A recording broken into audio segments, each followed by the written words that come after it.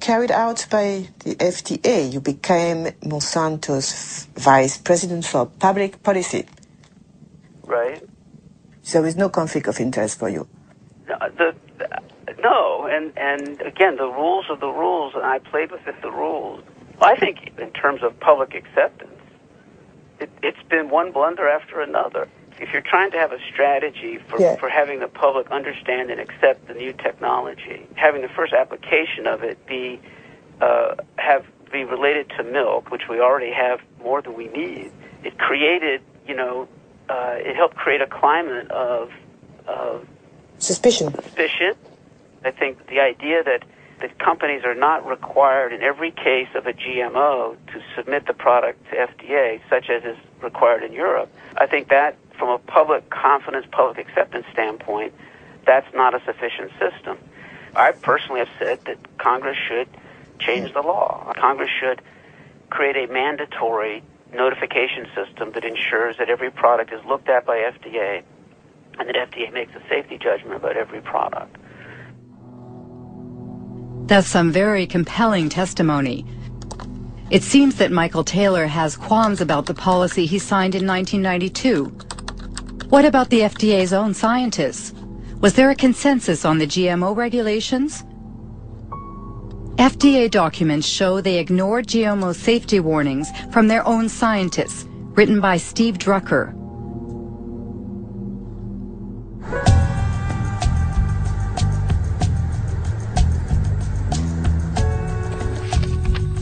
Lawyer Steven Druker represents a coalition of nonprofit associations.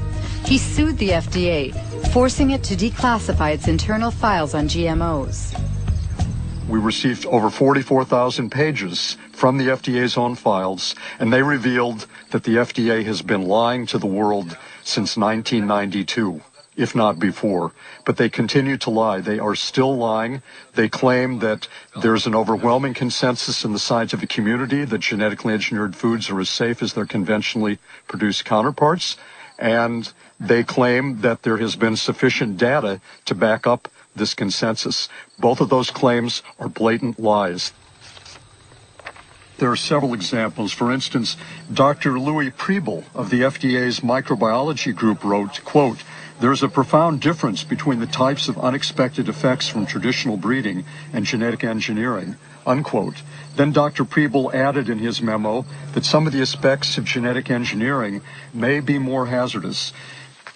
The concern expressed by the FDA's various scientific experts was so clear and unmistakable that the FDA official whose job it was to track and summarize the scientist's input, Dr. Linda Kahl, wrote a memo to the FDA biotechnology coordinator, Dr. James Maryanski, According to the internal FDA's files, which have been declassified now, uh, there were many in-house critics, I mean, among the scientists of the FDA, uh, about the proposed policy.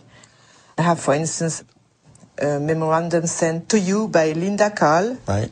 She stated the processes of genetic engineering and traditional breeding are different. Traditional breeding are different, and according to the technical experts in the agency, They lead to different risks. different risks. The point was that we had many people with many different views. Uh, Linda Kahl, of course, ha- wrote that in her memo, but in fact, when we finished the policy, all the scientists agreed with the policy. Now, FDA, of course, looked at the use of genetic engineering and has no information that simply the use of the techniques creates products that differ in safety or quality.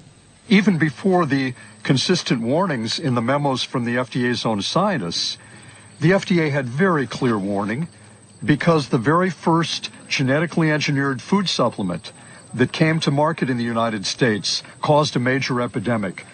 Do you remember what happened in 89 with uh, L-tryptophan? You remember? Yes. It was a bioengineered amino acid. We know very well what's amino acid and Right. that killed dozens of people and made hundreds and hundreds sick. it caused an epidemic of an unusual disease called EMS. Right. And how many, many people died? Right, but we have many. 37 and more than 1,000 people disabled. You remember? I do. And remember. you said, according to FDA administrative record, we do not yet know the cause of EMS, nor can we rule out the engineering of the organism. Did you say that? That I read. Yes. Amazing. James Maryanski can't rule out the possibility that it's the genetic manipulation itself that triggers unexpected side effects. But he did nothing. Have any independent scientists investigated this question, which is crucial for consumers? Arpad Pusztai, world-renowned scientist, lost his job when he warned about GE Foods. 1998.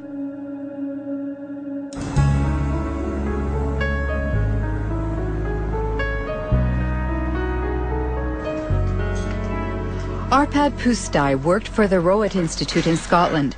At the Ministry of Agriculture's request, he led a study on genetically modified potatoes with a budget of over 2 million euros and a staff of 30 researchers to prepare the arrival of GMOs in Great Britain. We were all enthusiastic about it. I was enthusiastic think about it.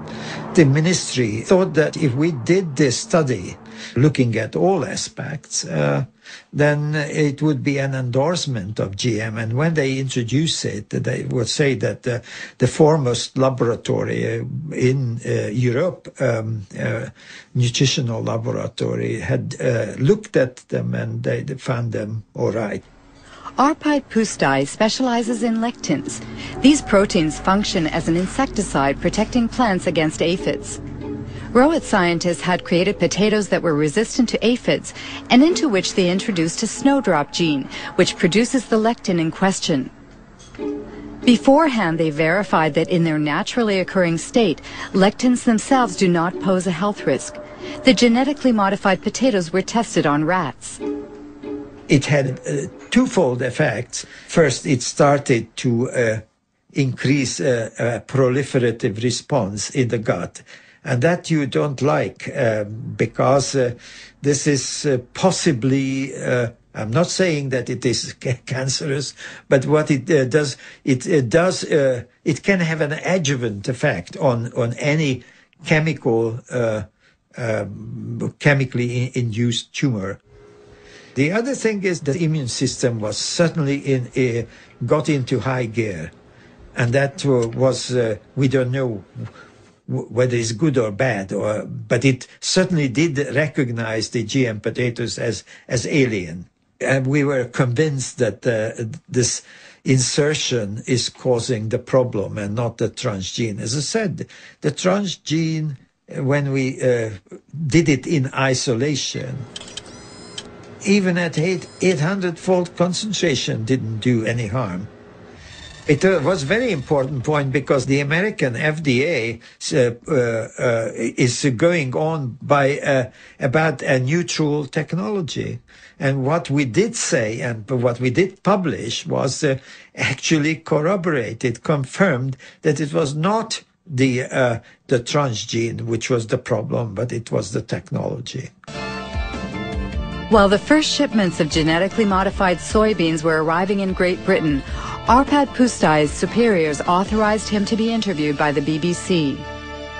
As a scientist actively working on the field, uh, I find that uh, it's very, very unfair to use uh, our fellow citizens as uh, guinea pigs. They will never forgive me for that. Monsanto did see the importance of, uh, of our findings.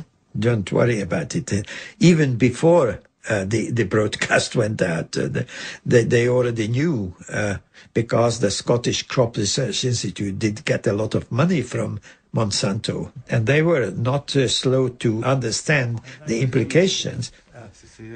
The day after the interview's broadcast, Arpad Pusztai was fired and the research team dismantled.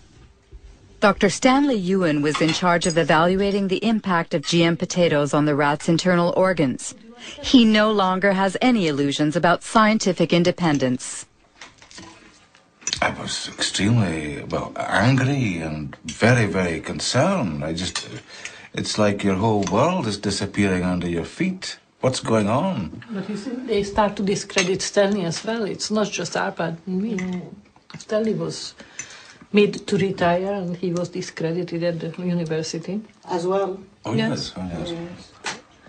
It was very hard indeed. Monday, it was wonderful work. Tuesday, it was rubbished. Uh, I had one or two ideas of what was happening, but a very imprecise idea until uh, eight years ago, almost exactly, I was at a, a dinner dance. And next to me at the top table was someone from the Rowett called Duttaroy, who uh, happened to say, I said, isn't it awful what's happening to Arpad? Yes, he said. And did, did you not know that there were not one, but two phone calls from Downing Street to the director? And then, of course, I saw clearly what was happening, that this was something uh, sort of supranational, if you like, some pressure being put on Tony Blair's office to stop this work because it was perceived by the Americans to be harming their um, industrial base, uh, the biotech industry, in other words.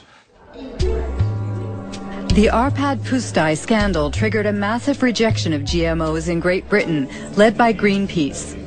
A year later, Robert Shapiro, Monsanto's CEO at the time, agreed to participate in a teleconference organized by the environmental organization. This is the only existing video footage of the former CEO. He was responsible for moving the company into the biotechnology era with its new slogan, Food, Health and Hope. Monsanto made huge efforts to push its products in every direction with the full support of multinational food manufacturers, retailers, communications firms, regulators, even governments. You behave not as a company offering life and hope, but as bullies, trying to force your products on us. Um, I, I, if I'm a bully, I don't feel that I'm a very successful bully. I want to start by emphasizing that biotechnology is, is a tool. Biotechnology in itself is neither good nor bad. It can be used well or it can be used badly. The products that are on the market have been reviewed uh, through the regulatory processes that society has established in order to assure not only safety, but the environmental safety uh, of, of uh, the products themselves.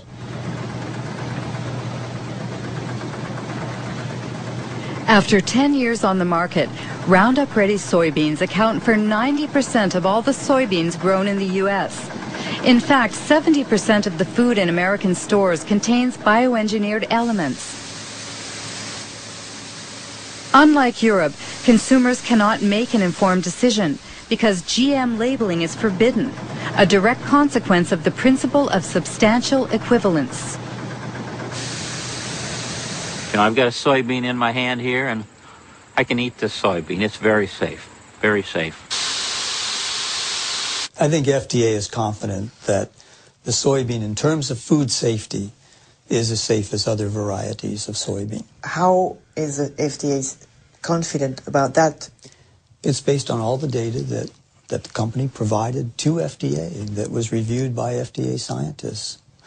And so it's, it's, it's not in the company's interest to try to design a study in some way that would mask results. How can James Maryanski be so sure? If I type in Monsanto falsified scientific studies, I get 174,000 hits. Among them, a report from the EPA of the United States. Monsanto accused of falsifying studies concerning the carcinogenicity of dioxin.